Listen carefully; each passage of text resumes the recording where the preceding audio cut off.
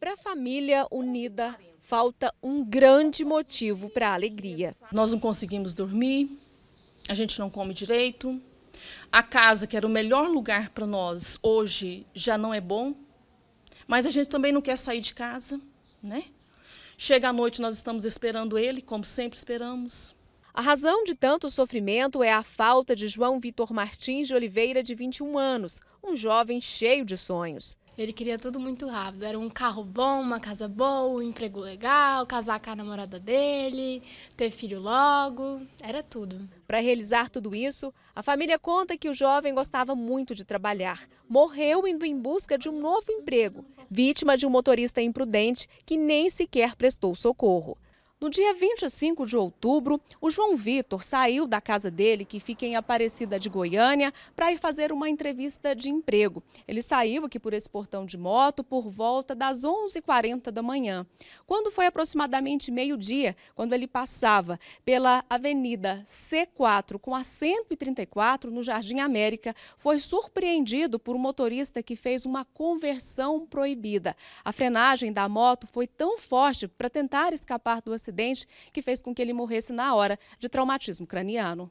A Polícia Civil foi em busca de imagens do carro, mas o motorista, de acordo com as investigações, retirou que poderia identificar o veículo, mas acabou sendo descoberto. Diligenciamos até a residência do proprietário e, diante do momento que ele viu que a polícia já estava próxima, ele resolveu se apresentar na delegacia. Mas antes de se apresentar, ele tentou descaracterizar esse automóvel.